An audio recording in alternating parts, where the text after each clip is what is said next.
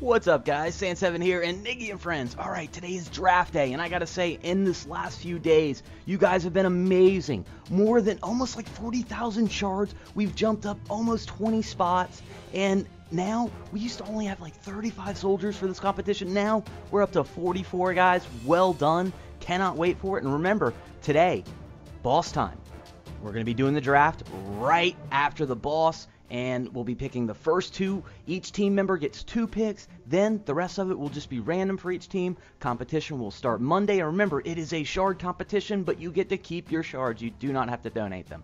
But with Niggy and friends, we are getting close to getting that guild expansion. And real quick, take a look. Just got the second nine star hero. That's right, Spirit Mage is finally there. Absolutely loving that. But we can take a look at the guild. And you can see right there that 95,000 with the research. Whoop, whoop, let's go back there. Take a look at that again, and you can see that with 168, we'll be able to max our guild out, have the maximum 75 members, and be ready for the Guild Wars when Guild Wars come out. So, I'm absolutely loving this, guys, and I really, really appreciate all the hard work. All right, guys, Sand7 out.